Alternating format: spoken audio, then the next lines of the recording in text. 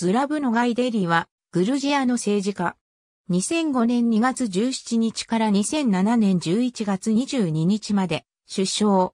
アジャリア自治共和国の町、コブレティに生まれる。1982年にバトミの学校を卒業。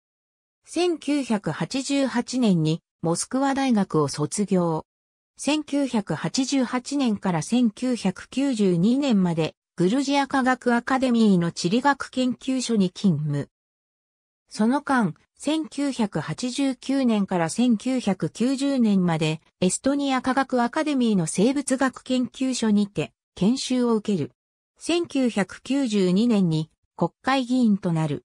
1992年から1995年まで国会内の環境保護、天然資源委員会の委員長。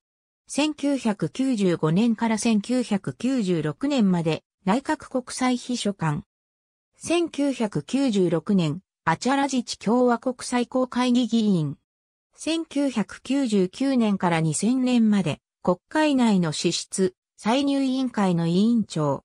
2000年5月にエドゥアルド・シェワルナゼ大統領より財務大臣に任命されたが、2002年に解任。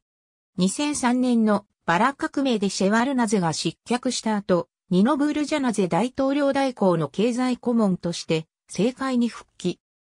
2004年2月、ズラブジワニア首相により再び財務大臣に指名された。ズラブジワニア首相の死去に伴い、2005年2月8日、ミヘール・サーカシュビリ大統領によって首相に指名される。2005年2月17日にグルジア国会により承認され、首相に就任。はじめ、緑の党に所属していたが、2001年から無所属。二のツインツァバゼプジンとの間に、息子が一人、クルジア語、ロシア語、英語を話す。ありがとうございます。